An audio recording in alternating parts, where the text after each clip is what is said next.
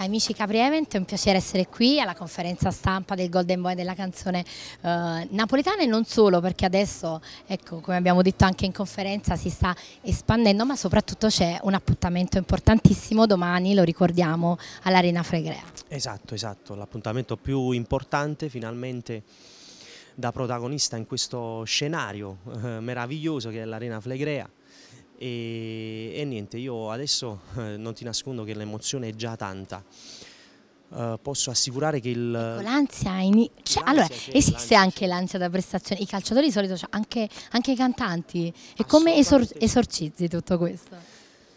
Guarda, credo ci sia poco da fare, l'unica cosa che, che, che, bisogna mm, avere un po' di, di pazienza perché sono i primi, sono i primi, i primi 5-10 minuti che, ah, che sono quelli no più... prima, i giorni prima, no, quando sei... No, quando sali sul palco la prima canzone comincia a tremare, quindi la voce è, è, è tremolante, come dire però eh, poi man mano Vabbè, però sei avvantaggiato perché a differenza dei calciatori che devono fare risultato tu sei a posto ormai sei lì le tue fan lo sanno quindi il risultato il gol lo fai eh, col sì, sold out sì. dell'arena per una parte, per un'altra parte non è, psicologicamente non è vantaggioso per un cantante. Che non scarichi. Perché, no, perché il cantante è da solo sul palco, quindi la responsabilità è solo tua, mentre il calciatore ha tutti i compagni di squadra e quindi il risultato non, non, non, solo, uh, non, proviene solo da lui.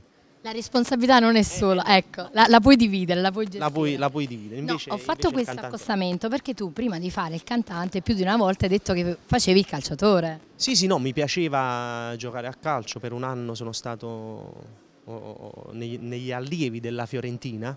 Ah, non del Napoli? Ah, no, no, no, a Firenze, quindi sì, sì, sì, mi piaceva giocare a calcio, ma comunque la dote che, che, che prevaleva era sempre quella del canto. Però non sei tifoso della Fiorentina, dobbiamo dirlo. No. Sei, sei, tifoso juventino, mi sembra. No. no. Guarda, non, non, rispondo nemmeno, non rispondo nemmeno perché... Sappiamo che hai il sangue partenopeo. Io, io sono un cantante, non devo, sono un, un personaggio pubblico e non devo espormi più di tanto. Posso solo dire che io sono napoletano, ho nelle vene il sangue azzurro. Non possiamo farvelo vedere, però, però voglio dire. Non, allora, ritornando a te, dobbiamo fare un passo indietro, però non tanto indietro, perché voglio dire, è un annetto insomma, che hai collezionato davvero dei grandi successi. Partiamo dai, dal dove sarai tour, che insomma sì. sei stato in tutta Italia, sold out, ricordiamo anche al Teatro del Verme, che insomma è un teatro dove hanno debuttato i Duran Duran, io posso esserne sicura sì. di questa cosa, cioè voglio dire, ti sei comunque confrontato con dei grandi colossi, hai fatto sold out Milano, Torino, Torino, lo ricordiamo. Bari. E poi eh, dopo, dopo, questo eh, adesso c'è questa nuova realtà che è l'Arena Flegrea. Sì. Ecco, come ti ho chiesto anche in conferenza, ci credevi soprattutto che in questo anno tutti questi grandi riconoscimenti anche con Siani, eh, voglio dire per, per, quanto riguarda troppo napoletano. Ecco, ti aspettavi un po' tutto questo? Come ho detto anche in conferenza, io sono, sono una persona sincera e mi piace essere sempre tale. In questo momento eh, mi aspettavo eh, delle attenzioni particolari, eh, mi aspetto ancora qualcosa in più eh, e sicuramente sono sulla, sulla strada giusta, sul, sul, sul, sentiero giusto. Se invece torniamo a dieci anni fa, tutto quello che, che è successo all'inizio magari non me lo sarei aspettato, però oggi ti posso dire invece che eh, mi aspettavo dei risultati importanti e mi aspetto ancora qualcosa in più. Senti. Però, come ho detto già prima in precedenza, mi piacerebbe che queste mie parole eh, venissero poi eh, non con presunzione prese con, con, non con presunzione sì sì sì con, con sincerità cioè, il, messaggio è quello che io eh, sto parlando con con il cuore e sinceramente, certo. con umiltà. Vabbè, ti aspettavi questo perché? Perché comunque viene da una grande gavetta, perché ricordiamo sì. da quanto tempo canti Rosario? Eh. Sì, no, da... Cioè, ah, tua da, mamma uh, è stata carina perché ho visto un post, sei nato col microfono, quindi chi eh più di tua mamma, chi lo può dire? Cantare canto da tantissimi anni, da tantissimo tempo, però faccio parte della musica che conta da, da dieci anni più o meno, sì.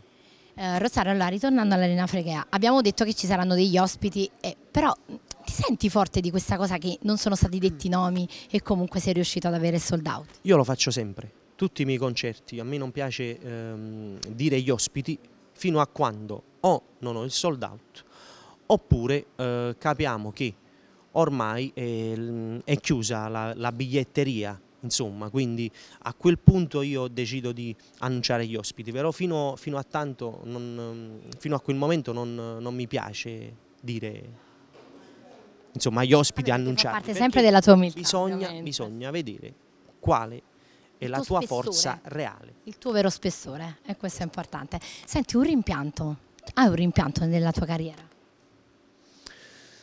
Ma forse un rimpianto, un rimpianto magari ehm, nel momento in cui sono, tra virgolette, all'epoca esploso, avrei in quel momento sfruttato quell'occasione come, come, sto facendo oggi, più che, più che aspettare. La stai vivendo? Sì, sì, sì, oggi me la vivo di più.